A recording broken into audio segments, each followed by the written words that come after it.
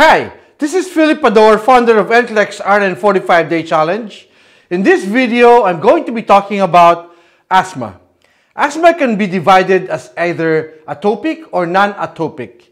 Atopic asthma is extrinsic asthma, meaning it's triggered by the environment. And this type of asthma is the most common. Atopic asthma involves inflammations mediated by systemic IgE production. The non-atopic asthma, on the other hand, is, is intrinsic asthma, and this is far less common. Non-atopic asthma therefore refers to an inflammation and constrictions of the airways that is not caused by exposure to an allergen. The inflammation is mediated by the local IgE production. So let us look at the cross sections of the normal lung. The bronchioles of a normal lung. So here we have the mucus layer and we have the pseudostratified endothelial cells.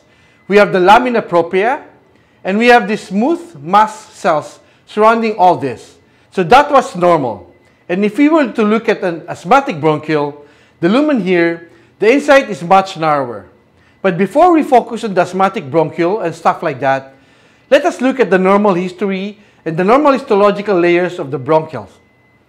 So here we have the mucus. On this layer, we have the pseudostratified columnar epithelial cells. Below this, we have the basement membrane. Within the epithelial layers, we also can find goblet cells which are responsible for secreting mucus into the lumen. Below the columnar cells, we have the lamina propria, which contain many cells including macrophages and mast cells. Mast cells are responsible for secreting histamine. Below the lamina propria or the surrounding lamina propria, we have the mast cells. Now, if we were to compare the normal bronchial layer here to an asthmatic bronchial layer, we can see many differences. Firstly, we can see that there is an increase in mucus production. So there is an increase as well in the goblet cells. Also with this, there is an increase in eosinophils in the mucus and the tissue. Here we have the pseudostratified columnar epithelial cells and below it, the basement membrane thickens. Lamina propria. Within the lamina propria, we see an increase in mast cells number.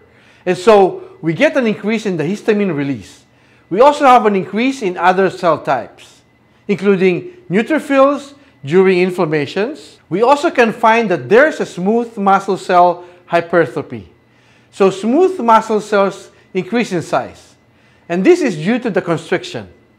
Now, because all of these changes are the three characteristics of asthma triad, these are the airflow obstructions, the bronchial hyperresponsiveness caused by histamine release, and the inflammations due to the increase in neutrophils and other immune cells to the area. Symptoms of asthma include shortness of breath, therefore wheezing, chest tightness, and dry irritated cough. So now that we have identified some changes that occurs during an asthmatic bronchial, let us look at the pathophysiology. So let's look at some players in the first in the pathophysiology of asthma. So we have a main one, the IgE antibodies. Now, IgE antibodies are important because they can bind to receptors on mast cells, forming a mast cells in IgE complex. The mast cells IgE complex will recognize allergens and essentially begin releasing heaps of histamine. Other important players in pathophysiology of asthma include eosinophils and dendritic cells as well as the T helper cells. Now, there are two types of T helper cells. Main overall types is that there's a T helper 1 and there's a T helper 2. The T helper 1 is normally found in the lungs. So in the normal lungs, the T helper 1 are normally found. However, there is an imbalance in asthma because in asthma, the T helper 2 cells which are not normally found in the lungs are up and regulated in asthma. So we have more T helper 2 cells in the lungs of asthmatic T helper 1 you see normally promotes inflammation by increasing cell-mediated immunity. However, the T helper 2 cells promote inflammations by increasing the humoral immunity, so promoting antibody production. So I hope you can see how this correlates. Anyway, let's put all these cells together and try to create a diagram looking at the pathogenesis of asthma.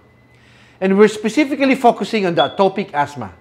So here we have the columnar pseudostratified columnar epithelial cells with goblet cells which secrete mucus on top. And here we have the lumen. Below the pseudostratified columnar cells, we have the lamina propria, where we have the mast cells and the dendritic cells of the macrophages. Okay, so let's just say an asthmatic inhales an allergen. And this allergen will trigger a reaction. So a few things can happen. One thing is that the allergen will be engulfed by the dendritic cells. And activated dendritic cells, also the columnar epithelial cells, will recognize this and secretes a substance called the thymic stromal lymphopoietin. Thymic stromal lymphopoietin will condition activated to dendritic cells to produce chemokines. To attack specifically the T helper 2 cells, the activated dendritic cells itself will activate the T helper cells to differentiate into the T helper 2 and also will secrete chemokines to attract the T helper 2 to the area, to the bronchioles or to the lungs. So the activated T helper 2 cells does several things. Firstly, the T helper 2 role is to promote the, the humoral immunity. So it will stimulate the plasma cells through the interleukin 13 and the interleukin 4 and this will promote the IgE productions by the plasma cells. IgE will obviously help, will bind one mast cells to create the IgE mast cells complex. T helper 2 to itself through the interleukin 9 will stimulate or promote mast cells activity. Another important functions of the T helper 2 cells is that it will stimulate the eosinophil productions from the bone marrows through the interleukin 5. So the interleukin 5 will stimulate the eosinophils productions, so you get more eosinophils. And with more eosinophils, there is a chemotactic basically. Thing occurring which will attract the eosinophils to the area to the lungs. And so, we have increase in eosinophils amounts in the lungs. So the inhaled allergen will bind into the IgE mast cells complex. And this will cause the mast cells to release a few things. Mainly histamine, prostaglandins, and leukotrienes. All this specifically histamine will stimulate smooth muscle cells in the airways to cause constriction. Also, during this whole process, an endothelial cell will release the stem cell factors that will essentially maintain the mast cells to the area. And so you can imagine that if there is this IgE being produced, whenever the same type of allergen is inhaled, it will trigger this whole process of histamine release and bronchoconstrictions and you get more eosinophils, so you get this whole process still occurring.